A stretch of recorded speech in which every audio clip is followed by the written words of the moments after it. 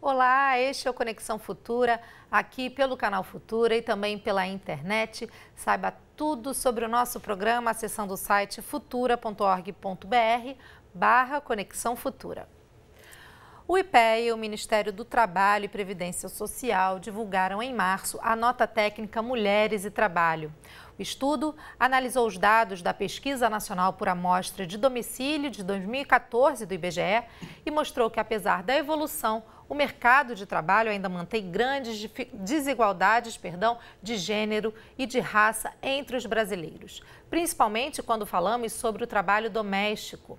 De acordo com a pesquisa, cerca de 6 milhões de mulheres são trabalhadoras domésticas. Dessas, 17,7% são negras e 10% são brancas. Desde a aprovação da PEC das domésticas em 2013, a estrutura de proteção social do empregado doméstico tem melhorado.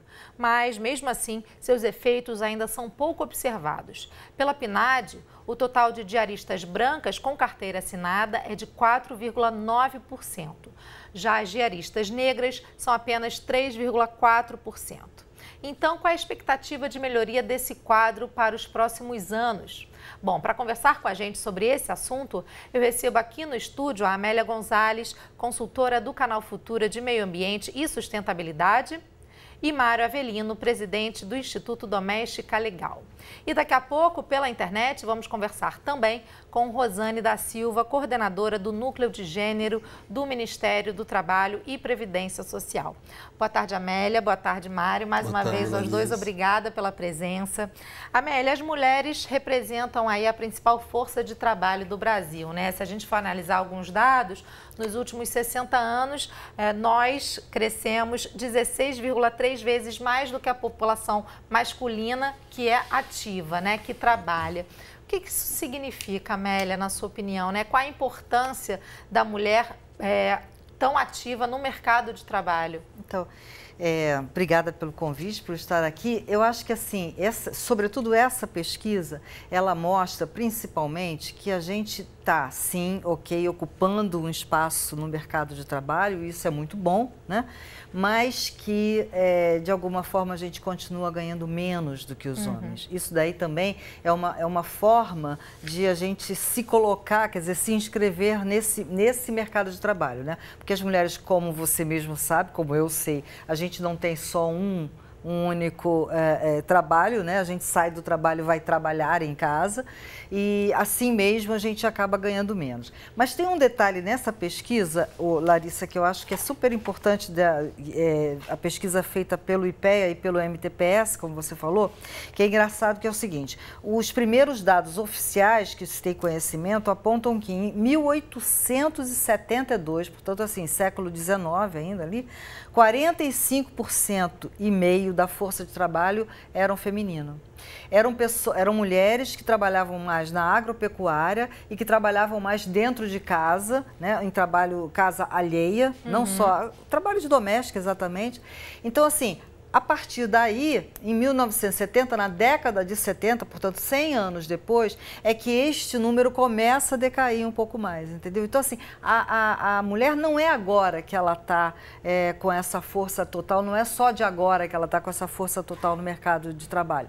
Ela, de fato, ela sempre teve participando muito e agora eu acho que a gente está começando a, a se mostrar, a ter chance, a ter possibilidade de se mostrar um pouco mais. Né? A gente pode dizer que houve um rearranjo né, do houve posicionamento um da mulher. Exatamente. E houve também uma, uma, uma, percepção maior, sobretudo do mercado, e aí eu não estou falando do mercado de trabalho, mas estou falando do mercado mesmo, é o mercado de serviços, de que é esse papel da mulher como cuidadora é importante. É um, é um, é, ele ainda não entra no PIB, isso é, é, é todos os especialistas comentam sobre isso, quer dizer, o PIB não leva em conta este trabalho que é seu, que é meu, que é de cuidar, que às vezes até mesmo de é, sai do trabalho, muitas vezes acontece isso, a mulher sai do trabalho para cuidar ou de uma mãe mais, mais idosa ou mesmo do filho. Então, assim, isso o PIB não leva em conta e é um trabalho, é um trabalho que está sendo feito no, dentro de casa. Mário, esse ponto que a Amélia colocou, né, da mulher que tem uma dupla jornada de cuidar, é, reflete muito da situação do trabalhador doméstico atualmente, né? Uhum.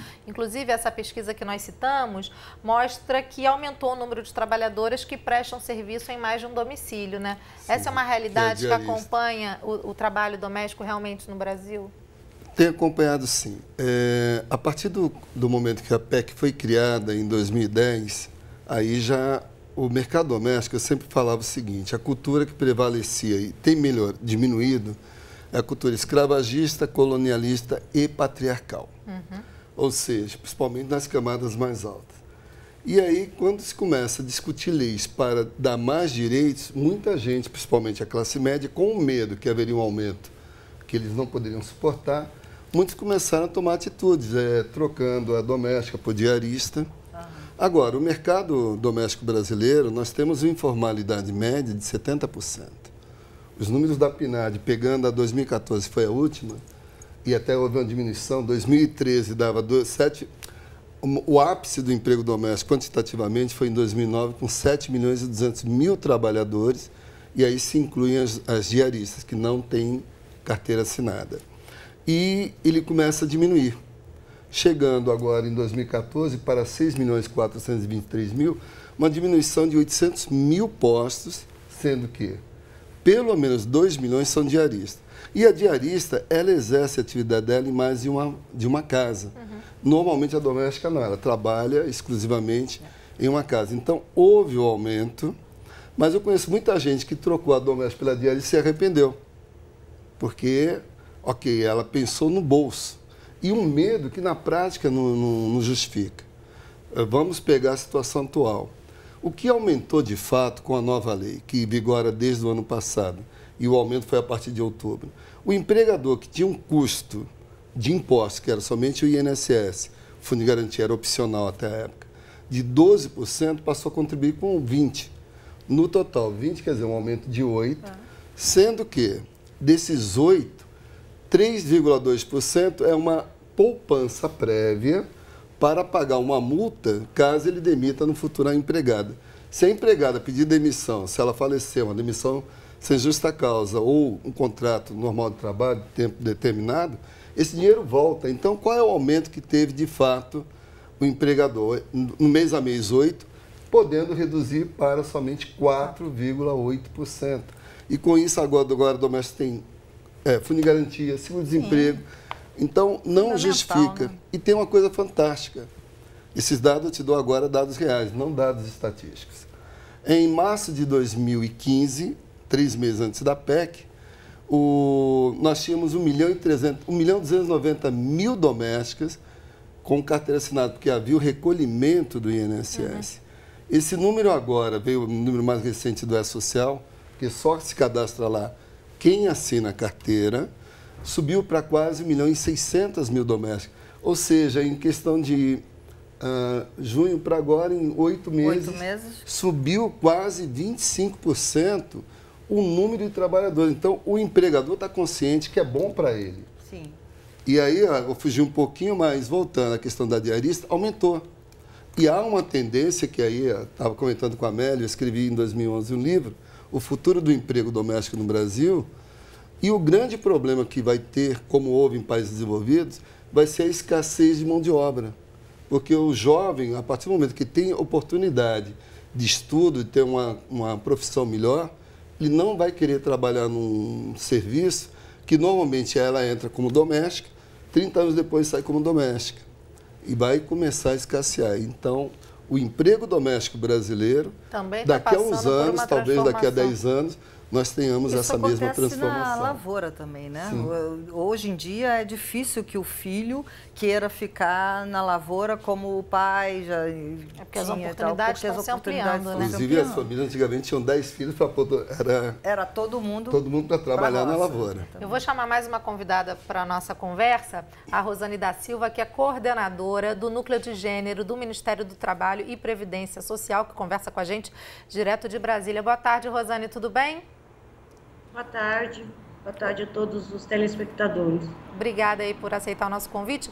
Rosane, a gente está falando aqui no estúdio de alguns aspectos que envolvem aí o trabalho doméstico. Eu queria saber, você participou da elaboração desse estudo, né, junto com o IPEA e o Ministério do Trabalho e Previdência Social.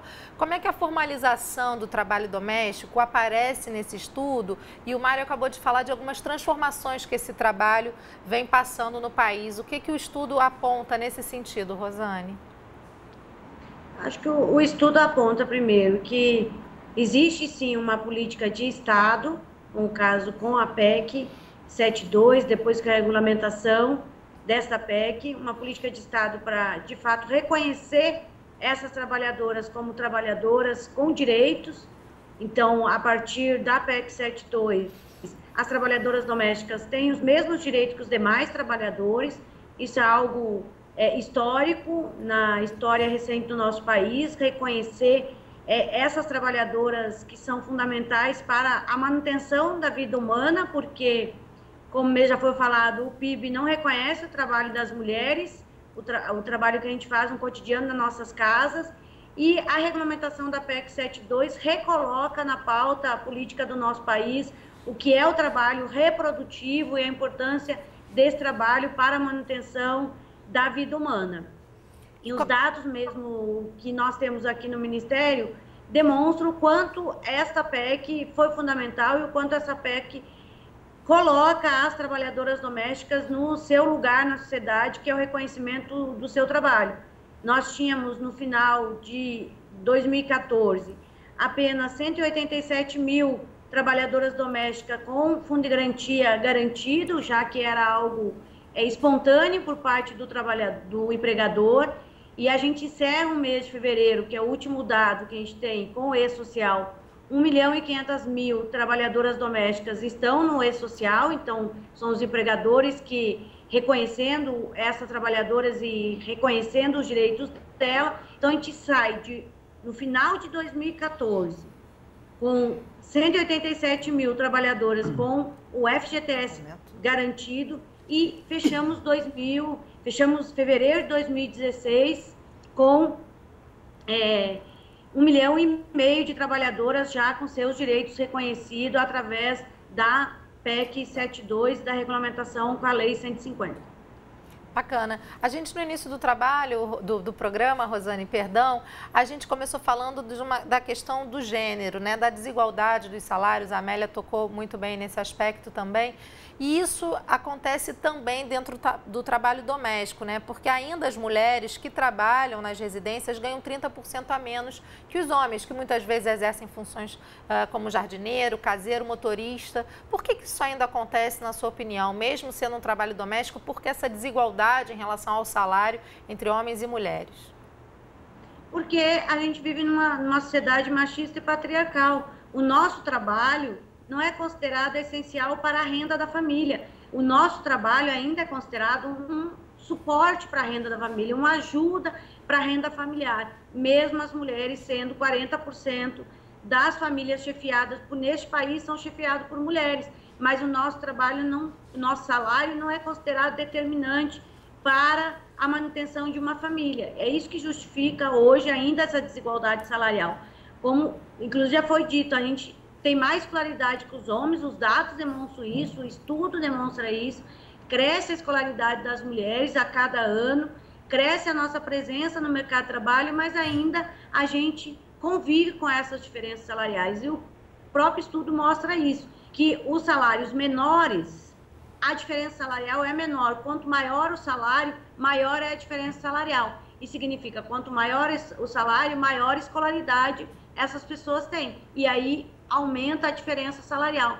Não tem outra justificativa a não ser o sistema que a gente vive, que nós vemos na sociedade machista e é fundamental ter política de Estado que rompa com essa situação, não somente de desigualdade salarial, mas também de entrada e permanência nossa no mercado de trabalho. Porque nós, mulheres, quando entramos no mercado de trabalho, muitas vezes a gente entra por setores mais precarizados, aqueles setores que têm contrato temporário, porque é a forma que as mulheres têm de conciliar o trabalho reprodutivo, o trabalho doméstico, com o trabalho produtivo que é o trabalho fora do nosso cotidiano nas nossas casas. Então, as mulheres, para conciliar esses dois trabalhos, muitas vezes elas acabam fazendo uma opção, uma opção entre aspas, né? Elas acabam sendo levadas a essa situação de estar em trabalhos mais vulneráveis, trabalhos mais precarizados, exatamente para poder dar conta dessas duas tarefas e da dupla jornada de trabalho, que ainda é algo, e o próprio estudo mostra isso, né? Que a dupla jornada de trabalho é algo presente na nossa vida e tem aumentado nos últimos anos, já que nós trabalhamos em média 25 horas por semana no trabalho doméstico, enquanto os homens trabalham 10 horas por semana no trabalho doméstico. E aí leia-se trabalho doméstico, é, não somente o cuidar da casa, limpar a casa, fazer comida, cuidar dos filhos, mas também entra aí nessa conta levar o cachorro para passear, levar o filho é, na escola, lavar o carro. Isso entra no trabalho doméstico, a gente sabe que é aí que está a maioria dos homens estão exatamente nesse trabalho e não no trabalho é, cotidiano das, das, nossas casas. Rosane, então, eu vou pedir para você eu vou pedir para você continuar acompanhando o nosso programa. Eu vou trazer a queria, conversa para o estúdio. O Mário quer fazer alguma observação. Até para os economistas que calculam PIB, obviamente que na, pelo menos é uma referência. Se nós pegarmos cada mulher que exerce uma atividade de dona de casa e pelo menos pôr o piso salarial de uma doméstica, a gente consegue pôr a mulher na jornada dupla, a participação dela no PIB. Exatamente. Porque se eu contrato alguém para pôr em casa, eu pago, por exemplo, o piso do Rio agora, a partir de abril, deve ir para R$ 1.050. Mas são R$ 1.050. Só que é um trabalho que fica nos bastidores. Exatamente. Então, a força de trabalho desse, da, da, mulher nessa jornada dupla, ou a mesma que toma conta de uma casa, eu conheço famílias, e eu lido com isso, que tem, de acordo com a capacidade econômica, uma babá para criança, tem um cuidador de idoso, tem uma doméstica. Começa, eu conheço famílias, aí já é um alto poder, de pagar no total lá com 4, 5 empregados 10, 12 mil reais. Exatamente. Olha, isso salarial. dá para. Tá? Agora eu gostaria de até, dentro desse contexto, o estudo do, do IPE, ele, na conclusão, ele faz várias sugestão de providências, muito interessantes. Isso. Inclusive e... no, no, âmbito da legislação, né? Sim. né? Que era esse ponto que eu queria é. falar com você, Mário, porque já uhum. não está na hora então da legislação. A gente já teve é. aí um caminho de direitos garantidos, né, do uhum. trabalhador doméstico.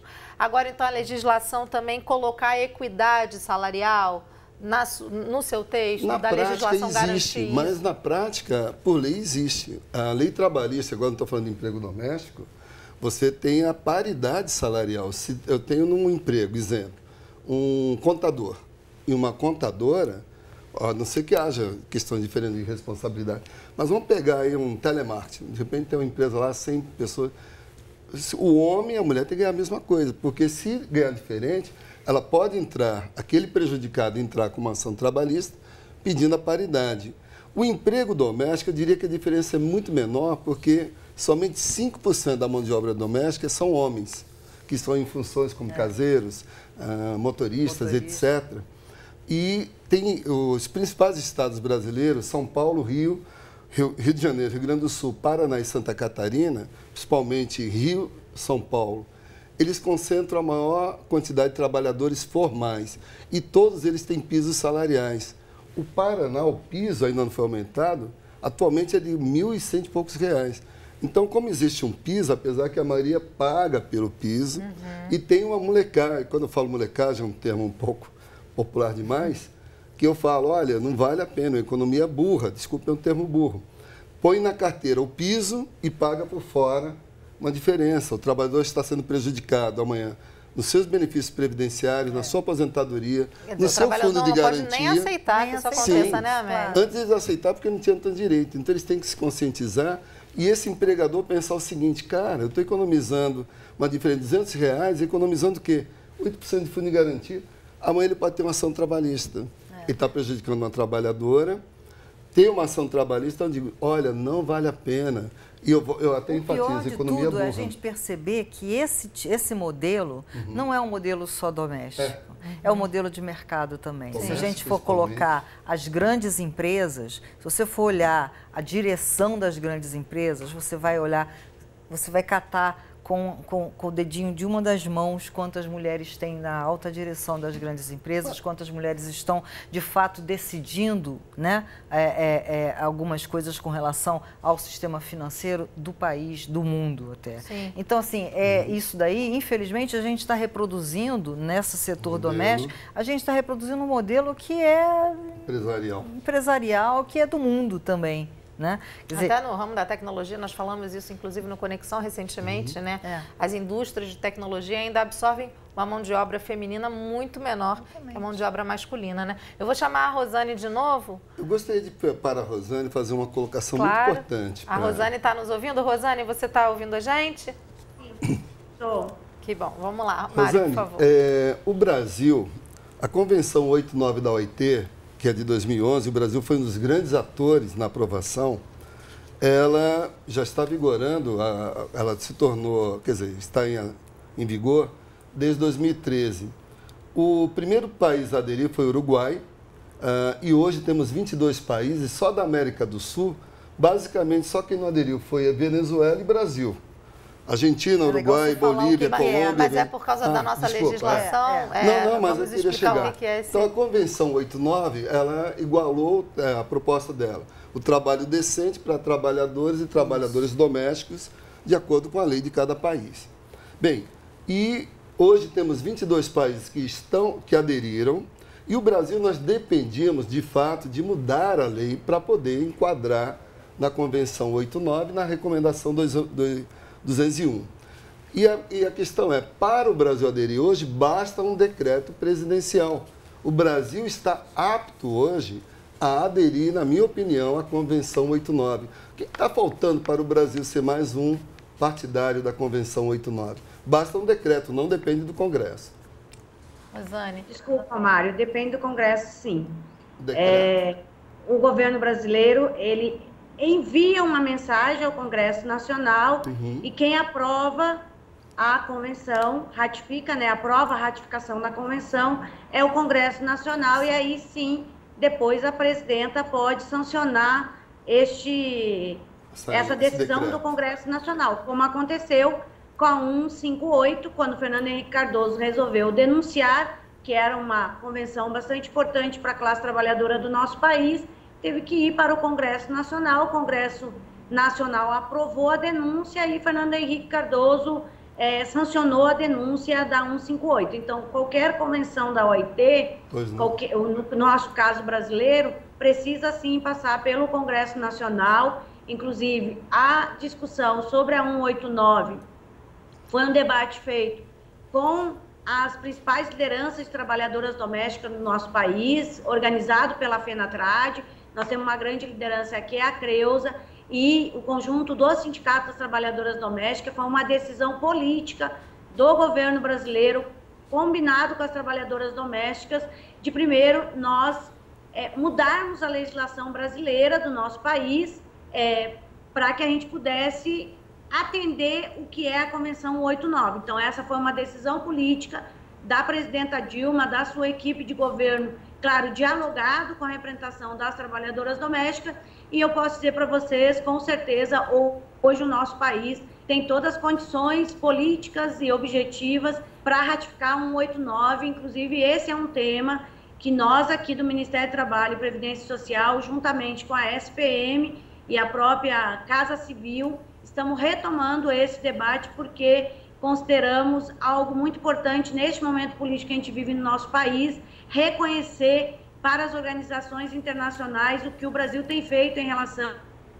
ao tra trabalho doméstico, às trabalhadoras domésticas. Então, posso dizer para vocês que, com certeza, hoje o nosso país, e foi acertado a tática do governo brasileiro em primeiro mudar a nossa legislação para depois ratificar a convenção. Então, a gente está retomando este debate, então, vamos... é, fruto, inclusive, do nosso programa, porque inclusive queria é, também fazer uma Rosane, é, um comentário tá correndo, em relação a isso. A gente está correndo muito contra o tempo, a gente tem aí só dois minutinhos faltando.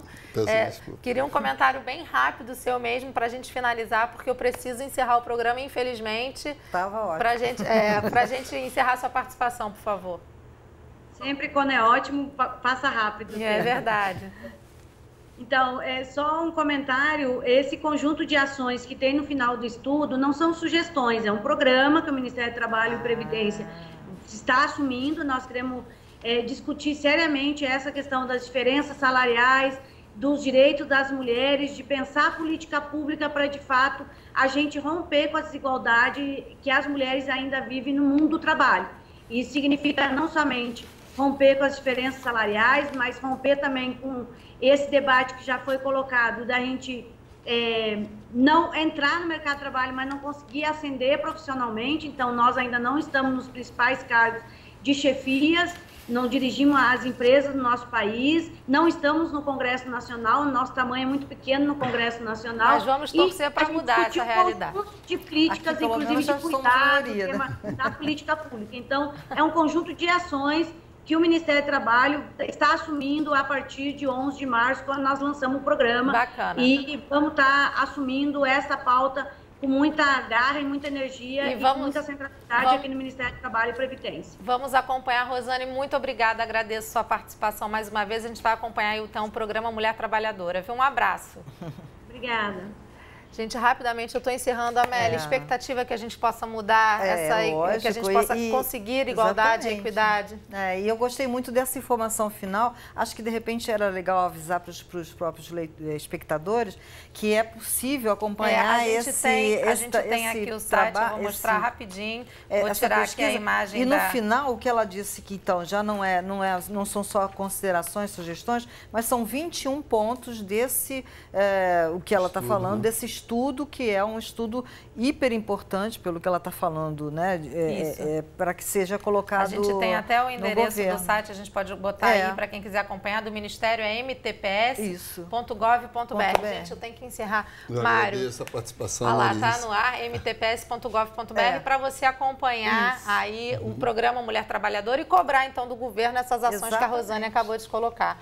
Mário, muito obrigada mais agradeço. uma vez, até a próxima. Tá bom. Amélia, obrigada, um beijo, Imagina. Viu? foi um prazer. A você de casa, obrigada pela companhia. A gente lembra que o Conexão Futura vai ao ar de segunda a sexta na tela do canal Futura e a qualquer hora do dia e da noite no site futura.org.br barra Conexão Futura. Um beijo e até a próxima. Tchau!